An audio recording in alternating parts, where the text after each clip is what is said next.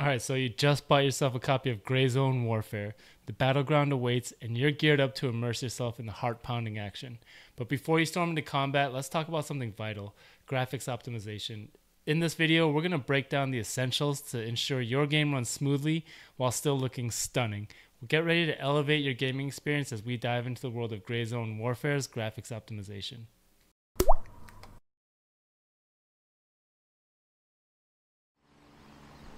Alright, so as you can see, I've got Gray Zone open here. I'm running a 7800 X3D with the 4090. I'm in 4K resolution and hitting right around 144 FPS average. I think I found the perfect balance between graphics and performance here. Everything still looks stunning. The gameplay is very smooth. I'm hitting a frame time of 6 to 7 milliseconds, so everything's very responsive.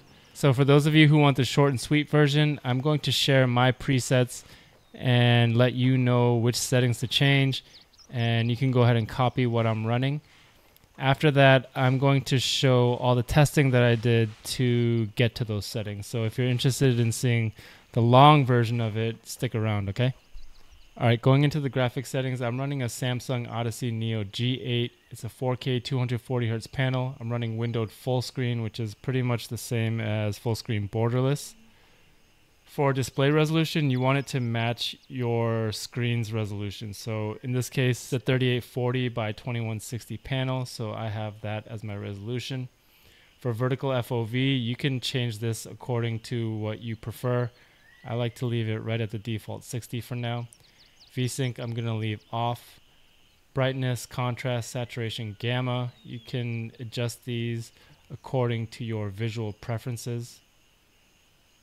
For frame rate limit, I'm going to leave it on unlimited because I want it to just run at the max possible for this hardware set.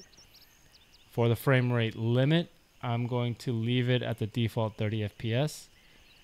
For quality presets, basically what I do is run it at low. And I change the shadow quality to epic.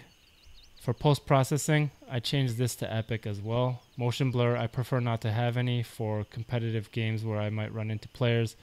This kind of hinders my view a little bit, so I prefer to have it off.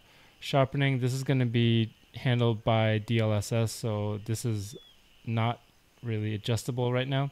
Colorblind mode and colorblind mode strength. I don't use any of this uh, colorblind coloring, so I'm going to leave this on the default settings as well. For anti-aliasing upscaling method, I'm going to use DLSS since I'm on a 4090, which is an NVIDIA card. You can also use FSR if you're on an AMD card. For anti-aliasing quality, I can't change this because I'm using DLSS. That's handled by the upscaler. Frame generation, I will leave it on. For super resolution, I'm going to leave it on balanced. And then for DLSS sharpness, I'm going to kick it up all the way to the max 100. Reflex low latency, I'm also going to turn that on. These are FSR settings, so these will be grayed out. Same thing with the XESS. This is Intel's version of DLSS or FSR. So like I said, if you just want the short and sweet version, go ahead and copy these settings and you should be pretty good. If you're interested in seeing how I tested each one of these graphics settings and how they affect the overall graphics and performance, then stick around because I'll show you how I went about testing each setting here. All right, to show you how my optimized presets stack up, on one side we've got the fully maxed out graphics settings showcasing the game in all its Unreal Engine 5 glory. On the other side we've got my optimized presets. So go ahead and take a look. Notice any significant difference in visual fidelity? yeah, neither do I. But here's the kicker. My optimized settings are giving us nearly 150% more performance in terms of frames per second. Okay, so technically it's actually around 137% more FPS, but close enough, right? All right, so let me walk you through my testing methodology. I kicked off things by running the game on max settings to establish the upper limit for visual fidelity. Then I went to the other end of the spectrum and ran it on the lowest settings possible. And to me, there's really not much separating the two extremes. So here's how I tackled it. I took each setting and dialed it down one by one, then did a side by side comparison to really scrutinize any visual discrepancies.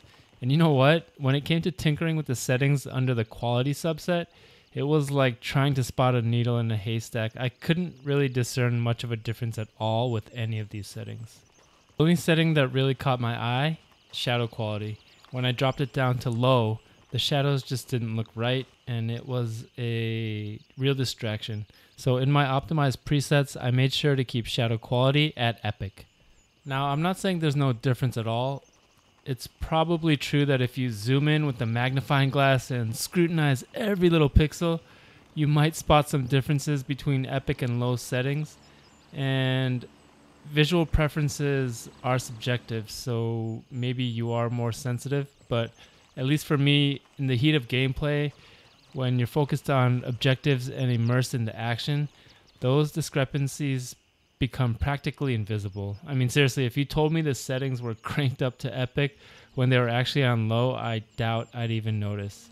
So for me, it's all about finding that sweet spot where performance meets visual appeal. By dialing everything down to low, except for shadow quality, I'm squeezing every drop of performance out of my system without sacrificing much, if any, of that jaw-dropping Unreal Engine 5 visual splendor. Grayzone Warfare looks breathtaking regardless of whether it's on epic or low settings. It's like having two equally stunning versions of the same masterpiece. So why not enjoy the game at its smoothest? Knowing you're not missing out on any of that eye candy.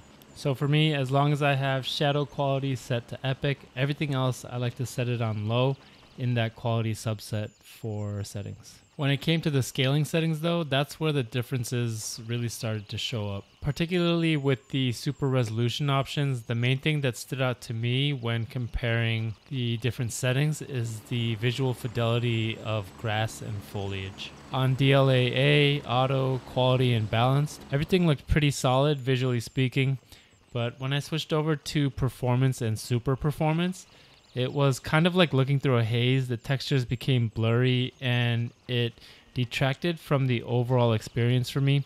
So while those high performance settings might seem appealing, they just didn't hold up when it came to maintaining the visual integrity of the game. So by using DLSS balanced and lowering most of the graphics options, I was able to get the frame time pretty low, which meant that I felt comfortable using frame generation to push out an even smoother visual output.